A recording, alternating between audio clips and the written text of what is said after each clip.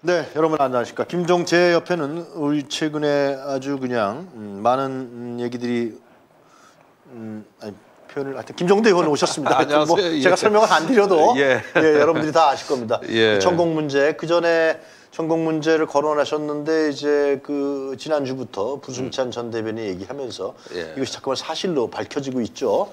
예. 이것이 뭐 주말에도 다른 제보도 받으셨다 그러고 단 예. 네. 1단계, 2단계, 3단계, 4단계가 있다고 말씀하셨는데 좀 그렇습니다. 얘기 좀 해주세요. 그러니까 네. 사실 저는 부승찬 전 대변인이 이렇게 책까지 쓰면서 거사를 일으키리라고는 생각지도 아, 그래요? 못했고 또 그러지 않기를 바랬어요. 왜 그러냐면 이 문제는 오롯이 내 혼자 지고 가겠다. 아, 한때는 제가 그 데리고 있던 음. 네. 보좌관인데 어디 거기다가 짐을 맡기냐. 음. 그래서 좀 인간적인 부담도 있고 해서 네. 음. 이건 오로지 내가 홀로 끝까지 한번 가지고 가겠다 그랬는데 혼자 고뇌를 한 것 같아요. 아, 그러더니 그냥 폭로하면 안 될 것 같고 어. 자기가 한글 파일로 만든 그 일기장을 음, 법정에 증거물로 제출할 수 있어야 음. 이 그러니까 그래야 저기 되지 안 그러면은 또 말에 끝나거든요. 그래가지고 이걸 아예 책으로 그냥 아. 저한달 넘게 준비를 해가지고 아, 네네네네네. 이렇게 해서 단단히 준비하고 나섰더라고요. 음. 이 정도면 고발 못 들어오겠지. 확실한 날 그때 그 저장 날짜를 조작할 수 없는 그렇죠. 예, 기록물이니까. 저장돼 있으니까. 예. 네네. 그런데 고발이 들어와가지고 고발이 그냥 그걸 인용 보도한 언론까지 그냥 사글이다 어, 고발을 해버렸으니까 진짜. 예, 상상을 초월하네요. 그래서 네. 어, 어쨌든 흔들리지 말고 어, 의연하게 믿음을 가져라. 음. 네. 그리고 이건 우리가 싸우는 게 아니라 시민들이 싸우는 거기 때문에 네네네네네. 예, 전혀 외롭지가 않다. 네. 음. 이런 것들을 가지고 좀잘 버텨줬으면 좋겠고 또 책을 네. 읽어보니까 예. 이게 정말 그 난- 현대판 난중일기예요. 이 군인의 글쓰기 아. 아, 담백하고 미사여구가 전혀 없고 그리고 이게 본인한테 정치적으로 이익이 되는 책도 아니에요. 네. 어, 어. 자기가 겪으면서 잘못된 건 잘못된 대로 그대로 기술을 했어요. 그런 걸 봤을 때 정직하게 무인의 글쓰기다. 그런 면에서 또 하나의 감동이 있고 그렇게 해서 이 정도면은 어, 이 책을 막상 보신 분들은 네. 그 진정성을 의심하기 어렵다. 이렇게 자신한테도 불리한 것까지도 그대로 그냥 네, 그랬더라고요. 나는 네, 이런 책을 가지고 일각에서는 자기 이름값 높여가지고 다음 총선에 출마한다. 아. 민주당에 공천 받으려는 거다.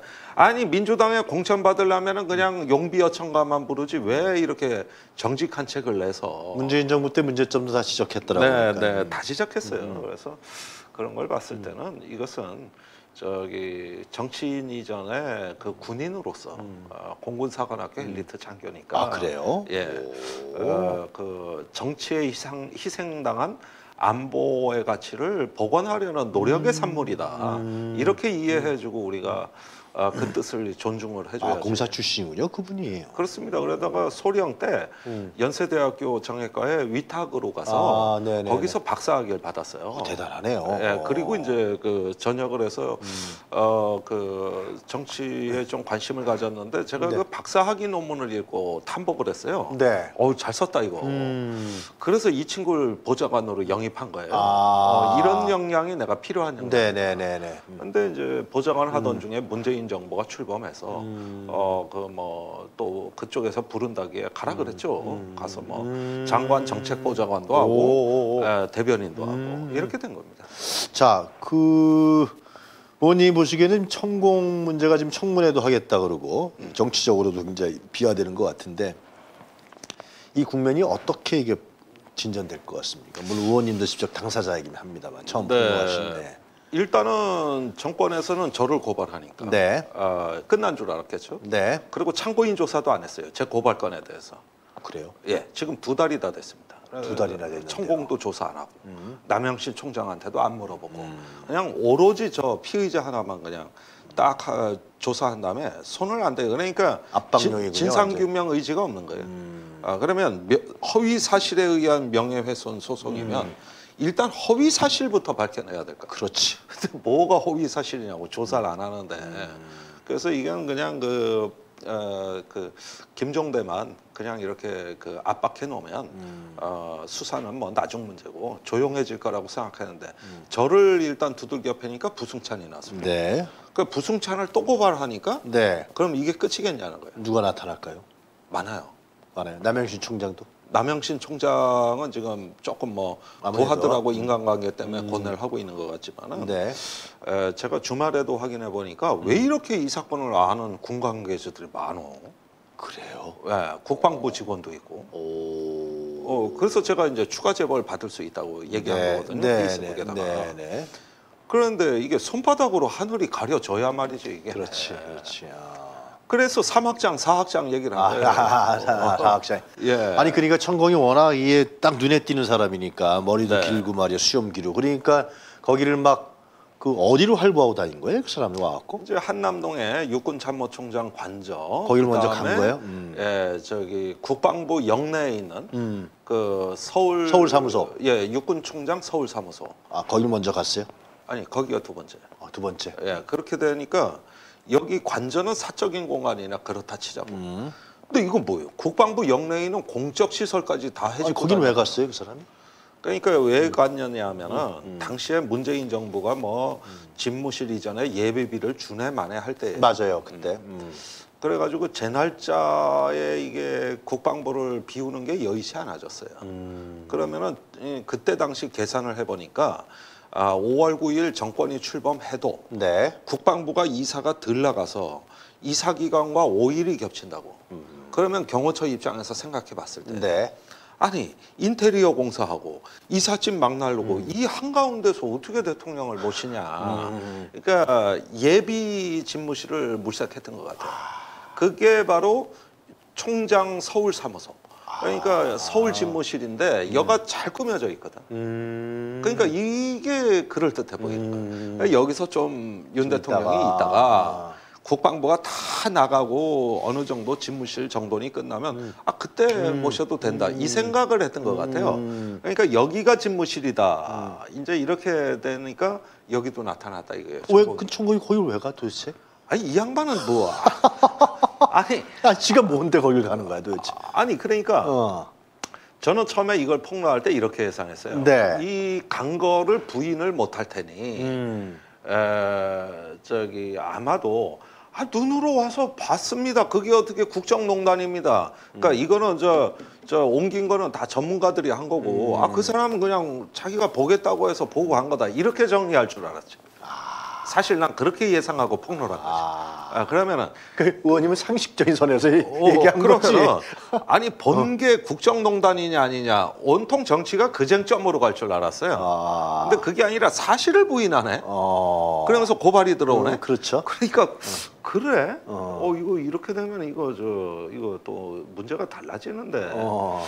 내가 거짓말 한 건 아닌데 이런 데 때 맞춰서 그 뒤에 이제 수사 고발이 들어왔는데 조사할 생각이 없는 거 보고 이상한 게 음. 고발장이 이상해요. 그래요. 관저간 거는 고발장에 있는데 어. 집무실에 온 건 얘기가 없어요. 서울 사무소는 없었어요. 그래서 왜 반만 고발했냐? 어, 물어봤어요 경찰한테. 예. 그랬더니 아니 뭐래? 무슨 고발장이 내가 얘기한 핵심이 빠졌다. 어. 그러니까 음. 고발된 것만 수사할 뿐입니다. 경찰은 어, 당연히 그렇겠지 예. 뭐. 그래서 이건 뭔가 의미가 있다고 본다. 음. 그다음에 천공 왜 조사를 안 하냐. 음. 그리고 지금까지 뭐 허위 사실 명예훼손을 하면 천공은 저 10배도 더 했습니다. 뭐 검찰총장을 자기가 그만두라 그랬다. 서울중앙지검장 할 때 문무일 총장을 지키라 그랬다. 뭐 대통령은 자기가 다 만들었다는데 아니 왜 그거는 허위 사실이 아니야? 그러니까 거긴 못 건드려요. 그러니까 대통령실이 저를 고발한 거는 대통령 내외와 천공의 대리 고발이에요. 이게 바로 방탄 권력이고 그다음에 이제 국회에서 민주당이 천공을 국회에 불러내겠다는 입장인데 음, 예. 그럼 국민의힘이 응하진 않아요. 안 하겠지. 이게 바로 방탄 국회입니다. 뭐 희한한 아, 거지. 아, 이거예요, 이거. 음. 그러니까 한쪽만 조사하는 거야. 한쪽은 성역 치외 법권이에요. 이렇게 문제가 커져도 조사 안 해요. 음. 어. 아 지금이라도 저 천공한테 에, 저기 뭐냐 확인 받아오면 될 거 아닙니까? 그 우리가 기자들하고 협조해가지고 천공을 많이 쫓아갔어요. 어. 강현장으로 쫓아가서 네. 기자들이 이렇게 질문했습니다. 아니 안 가셨으면 안 갔다는 말 한 마디만 하세요. 그렇지. 어. 그렇지. 안 해 근데. 인터뷰 안 하겠대. 그리고 그냥 내빼버려 음. 천공이. 그리고 이게 한 번이냐? 음. 작년 5월부터 지금까지예요. 그러 그렇게 됐네. 아니 정말 천공을 집요하게 압박했다고. 그래가지고 저 기자가 찾아가가지고 그 특보 언론 담당 홍보 담당자 만나다가 지금 지들끼리 친해졌어 또 하도 찾아가가지고. 어. 그래도 말 안 해요. 그러니까 의원님 말씀대로 정말 자기가 동영상 보면은 뭐 자기가 대통령을 뭐 만들었다 뭐 그런 일 많이 하잖아요. 네. 그거말로 허위 사실에 의한 명예훼손 아니에요? 어떻게 네. 대통령과 지가 직접적 친교와 관계가 있다라는 거 아니에요? 영향을 주었다. 네.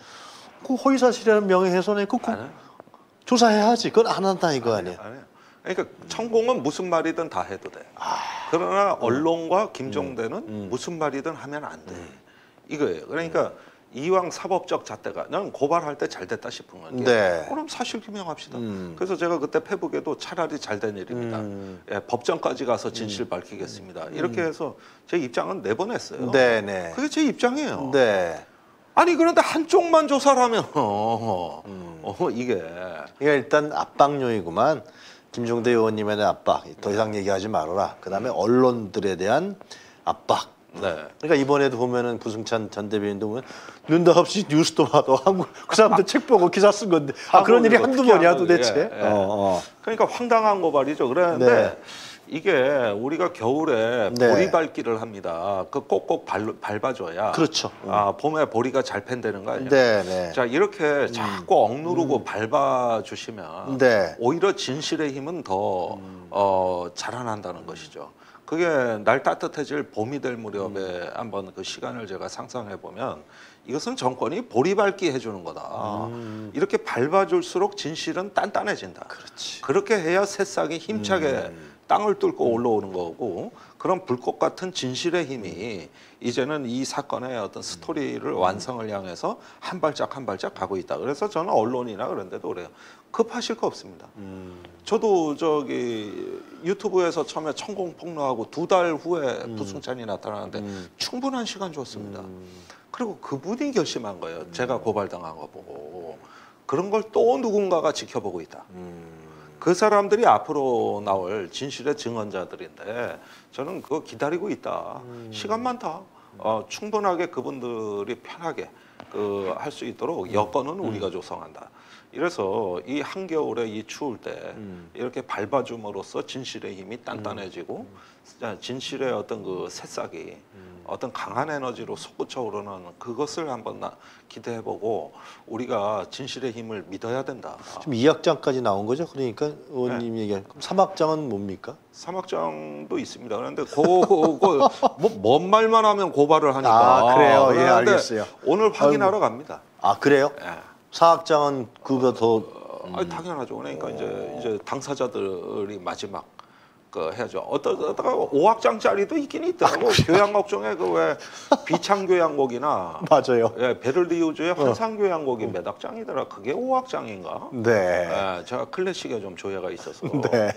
가끔은 5학장도 있고 또 2학장까지 쓰다가 만 것도 슈베르트의 미완성 교향곡이 음, 있습니다. 네. 그렇게 예외적 사건은 있으나 일반적으로는 4학장이 좋다. 음. 그게 표준 저, 저 음. 포맷 아니냐. 아. 그래서 저는 4학장 정도면 된다. 4학장 정도면. 네. 근데 이게 만약에 그 저, 사실로 밝혀지면 윤석열 정권에 어떠한 치명적인 영향을 미칠까 이게? 아니 그러니까 이거는 음. 왜 이렇게 저들이 그 공멸의 길로 가느냐 하면은 이렇게 된 겁니다. 사실은 제가 12월 초에 일요일 날 5시에 나간 유튜브 방송을 보고 그 다음 날 오전에 고발을 에, 저기 저기 검토한다 그랬고 오후에 고발한다고 발표한 거거든요. 아, 그쪽에서요. 어. 어, 대통령실에서. 아. 그러면 상식적으로 시간이 어. 아니 내용도 분석해봐야 되고 사실도 알아봐야 되고 법률 분석도 해야 되고 최소한 아무리 빨라도 이틀은 걸리는데 하루 만에 그것도 몇 시간 만에 이러는 걸 보고서 깨달은 게 있어요. 그게 뭐냐 하면은 어, 9월에 뉴욕 참사 때 바이든 날리면 그 비속어가 나갔을 때 어, 제때 대응을 못하고 뭐 10시간도 넘게 지나서 그 저 김문혜 홍보수석이 사색이 돼서 뒤늦게 발표하고 대통령한테 무지한히 모욕을 당했다고. 그러니까 그 뒤로 기조가 바뀐 거예요. 네. 뭐가 터지면 음. 일단 조치부터 먼저 하고 대통령한테 보고한다. 그러니까 선 좋지 네. 후 보고 음, 음. 이렇게 된 건데 이게 대통령 신기경으로 간 거예요. 그러니까 뭡니까? 대통령한테 보고할 때 아 이런 유언비어 있어서 당장 고발 조치했습니다. 성명 세게 냈습니다. 이렇게 자꾸 해줘야 대통령이 위로를 받는다. 네. 신기 경호가 된다고 본 거죠. 음. 어 그게 뉴욕 참사 이후에 박힌 일이라고.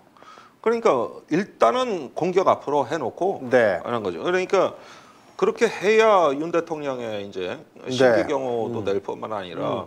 어떤 참모들의 면이 사니 김은혜 홍보수석 초주금 되는 걸 봤거든. 음. 아, 그러니까 이게 참 그래서 그런 거. 어, 예, 그래서 이런 부분들을 보면은 어 일단은 저기 뭐가 탁 튀어오르면은 무조건 공격이에요. 그런 다음에 이제 애매한 거는 조금 남겨놔요. 근데 이 결국은 이 사람이 뭐 도산이 스승인지 뭐 뭔지 모르겠는데 이 무술인 아니에요 무술인 역술인 예. 점잖게 얘기해 주면 역술인이고 하여튼 뭐 직업이 뭐라고 이제 표현할 수는 없을 것뭐 같아요. 종교인이라도 해요. 종교인이요? 네, 아, 그뭐뭐 종교- 천도교 쪽에 천부경 계열이니까 천, 종교의 자유는 다 있는 거니까 그거에 대해서 우리가 아까 뭐 얘기- 근데 그 이것이 비하할 생각 없습니다. 근데 이것이 제일 위험한 게 정치에 개입한다는 거 아니에요. 특히 국 정에 개입한다는 얘기가 참 제일 무서운 거 아닙니까? 네. 거기에 염려하는 거지. 뭐 이 사람이 어디다가 뭐 내놓고서 거기서 점을 보든 뭐라 그거야 뭐 당연한 거죠. 아니, 뭐 그럴 수도 있죠. 있는 뭐 거지, 뭐. 근데- 누구나 좀볼수 있는 거고. 그렇지. 근데 이 사람이 예를 들면 지금 뭐그 그 대선 경선 때 네. 유승민 전 의원이 이 문제를 처음 그때 공개적으로 제기했던 것 같은데 정치적으로 제기를 했던 예. 것 같은데요. 대선 TV 토론입니다. 대선 TV 토론 때 예, 예. 거기서 유승민 의원이 처음에 천공을 아느냐. 음. 그러니까 윤, 대, 윤 후보가 당시에 처음에 모른다 그랬어요. 모른다. 거짓말을 했다가 가만히 생각해 보니 아니거든. 음. 그래서 황급히 말을 바꿔요. 몇 번 보기는 봤다. 봤다. 예, 그 다음에 그 어떤 사이냐. 그러니까 조금 있다가 천공은 그 정법은 네. 미신이 아닙니다. 음. 어. 맞아 그런 얘기를 예, 했어요. 미신이 아닙니다. 난 그 얘기 듣고 음. 아 실제 믿는구나. 아 실제로 정법은 미신이 아니다. 음. 아니 정법이라는 게 상식을 얘기하고 진실을 말해야 정법이지. 아니 뭐 정과 17범에 거기에다가 저기 뭐 성적 뭐, 뭐 그런 거, 뭐 그런 것도 있었어요. 예, 거기에다가 그 정법 내용이 뭐예요? 여의도의 줄을 물고 용이 용산에서 나타나서 정법 시대를 연다 이거 아닙니까? 예. 이게 정법이냐고? 전국의 정법이라는 걸 이해를 못해요. 네. 음. 이 겸료가 되는 게 그렇게 하면서 결국은 저희 뭐야 이것이 국정에 관여하게 되고 정치에 관여하게 되고 그럼 나라가 엉망이 돼. 과거에 뭐 조선 시대 때 우리 그런 거 많이 본 것 같아요, 실제로. 네. 어, 그런 뭐 드라마도 있었고 실제로 이러한 상황이 지금 우리 21세기의 경제대국 10위권에 올라가 있는 음. 대한민국에서 벌어진다라는 의혹이 강하게 제기, 제기돼 있다고 말이죠. 네.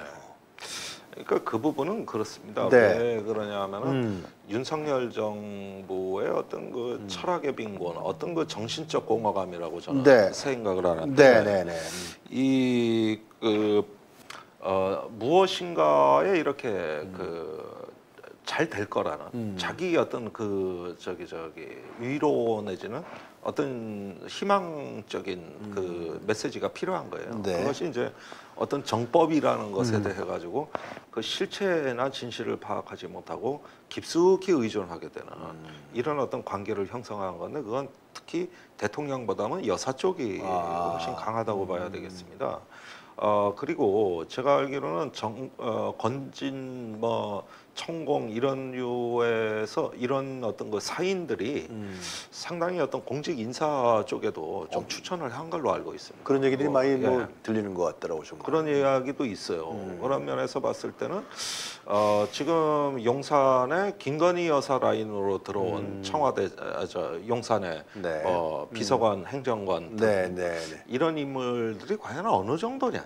음. 아, 어느 정도나 지금 취업을 한 것이냐? 건진이가 그 사람한테 캠프에도 합류했었잖아요, 실제로. 그래서 뭐 그 어디 무슨 운동 본부 뭐, 뭐, 이런데 그, 그 예, 뭐, 직함까지도 음, 맞섰다가 언론사에 사진 찍히고 예, 막 그러다가 이제. 말썽이 나니까 해체해 버렸죠. 음, 맞아요. 어, 대선 중에 이제 해체가 됐고 거기에 윤석열 후보가 찾아가서 격려하는 모습도 아, 등 거. 두드리는 맞아, 모습 맞아. 예, 그게 이제 보였죠. 아, 두- 등을 건지 어, 두드렸지. 굉장히 뭐 아래 사람 돼야 돼. 맞아. 어, 저 렇게 해도 되나? 그런데 결국은 이제 대선 때는 해체했다는 맞아요. 거고. 음. 그다음에 정권이 출범한 다음에 건진이 기업인을 만나고 다니면서 그 일단 이권 개입을 한다는 소문이 들어서 기업에 공문을 보내가지고 주의를 주었다. 그 대통령실에서 발표한 거예요. 그게. 예. 아니 건진을 갖다가 어. 어. 사기죄로 하면 되지. 왜 기업에 그런 공문을 보내냐고. 어? 건진을 입건해 버리든지 고발해 버리든지 하면 될 걸 가지고.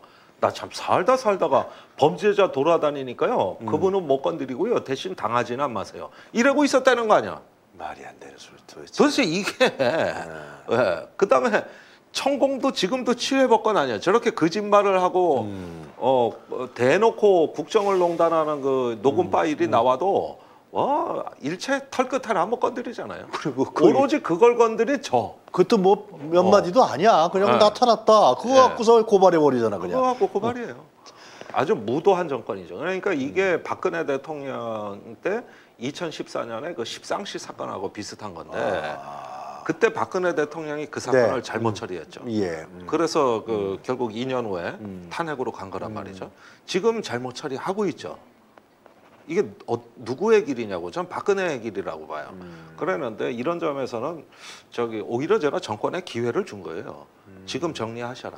그렇지. 그리고, 어 그렇게 해서 다시 출발하지 않으면은 파멸한다. 근데 이 사람들이 정권 그 출범하는데 윤석열 후보와 김건희가 함께 했던 정권 출범한테 깊이 관여가 돼 있다면 가정입니다. 음. 돼 있다가 그러면 이 사람들을 제거할 수 있겠어요? 못하지. 지분이 있겠는데 충분히. 아니 그런데 음. 어 일단은 그 이렇게 고발을 하고 거꾸로 나가면은 이제 그 힘은 점점 커져서 우리가 어떤 권력의 그 비극적인 예감 이걸 솔직히 말해서 지울 수가 없, 없는 거고. 예. 우리 역사상에서 많이 봤고 실제로. 예. 그런데 지금이야 뭐 기세 등등해 보입니다만 음. 박근혜 대통령도 그 정윤의 문건 파동이 터졌을 때 음. 이게 민정수석이 초토화되거든요. 네. 그, 어, 이게 뭐 조웅천 비서관부터 초토화되고 어, 그와 관계된 한 명의 그 조사관이 극단적 선택을 합니다. 그 유서에 맞아요. 예, 저들은 예. 너무 강하다.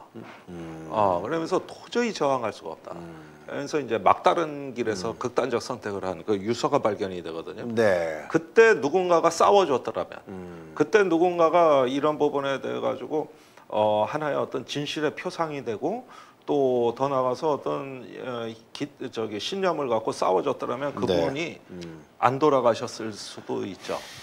그러니까 지금 그 우리가 집단지성이 필요한 이유는 네. 공직 사회 내에 양심적인 분들이 있기 때문에 예. 그래서 싸우는 거예요. 음. 누군가는 싸워주고 야당이 이런 거에 대해서 어, 굉장히 강력하게 견제를 해줘야 희망을 갖고 음. 자기 소신과 진심을 진실을 굽히지 않는 음. 이런 공직자를 만들어낼 수 있기 때문에 네. 그분들이 앞으로 나올 거기 때문에 그래서 삼막삼막이 존재한다고 말씀드려요. 앞으로 우리 의원님은 어떻게 이 문제를 대처해 나가시고 이 문제를 계속해서 끌고 나가실 생각입니까? 아니 저는 음. 그 저기 에, 이 천공의 어떤 국정 개입이나 이 정권의 국정농단에 대해서 일단은 고발로 응답을 해주셨기 때문에 음. 이거는 결국은 둘 중에 하나는 죽어야 끝나는 싸움이에요. 음. 진실이냐 아니냐. 그렇지. 사실은 음. 천공이 갔어도 아니 눈으로 보고 가더라. 음. 우리는 그 뒤에 좋은 한마디 안 들었다. 이래버리면 은 어떻게 되면 작년에 끝났을 일이에요. 아니 근데 자꾸만 이제 진실 얘기. 이게 잘못하면 말이죠. 네. 들었니 안 들었니 봤니 못 봤니 진실 논쟁으로 가면서 말이죠. 네. CCTV는 공개 안 하고 음, 음. 그렇게 되면서 이게 지리한 싸움으로 가지 않을까 그런 염려도 좀 들어요. 아니 지루한 싸움인데 이 음. 주권자 국민들이 이건 싸우고 계시는 건데 지치면 안 되죠. 음. 이거 제가 음. 뭐 옛날 30년 동안 국방 분야 들여다보면서 어떨 때는 참 외로울 때가 많았습니다.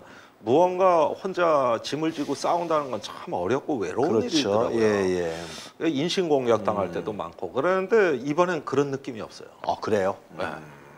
아니 주변에서 이렇게 열심히 하시는구나. 오. 어 그런데 오히려 나는 그 뒤를 따라가는 느낌이다. 아. 그 전혀 외롭지가 않다. 삼악장 사악장도 계속 나타날 것 같고 그렇습니다. 전개될 것 같고 주말에 다른 사람한테 많은 제보를 좀 들, 들으셨다 또. 뭐 많지는 않아요. 한 많지는 건인데. 아, 그래요? 근데 말만 하면 고발하니까 알았어요. 이거 확인을 해보고 아니 어차피 어. 고발 당했는데 뭐 두 번 고발당하나 세 번 고발당하나 똑같지 않아요? 아니 똑같더라도 그 죄송합니다. 저기, 예. 개인 이렇게 울트라서, 예.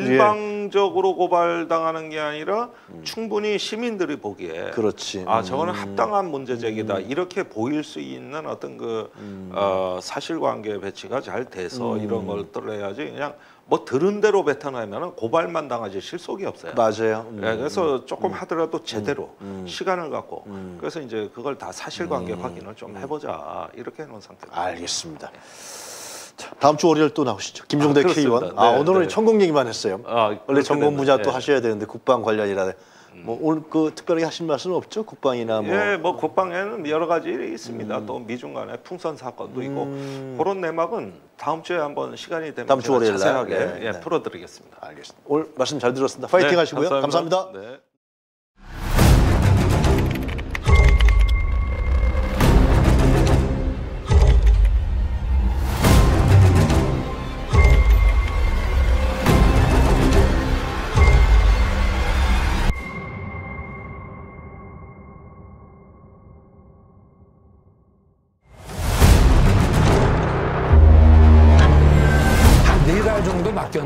손실을 봐서 저희 집사람은 거기서 안 되겠다. 그 사람하고는 절연을 했습니다.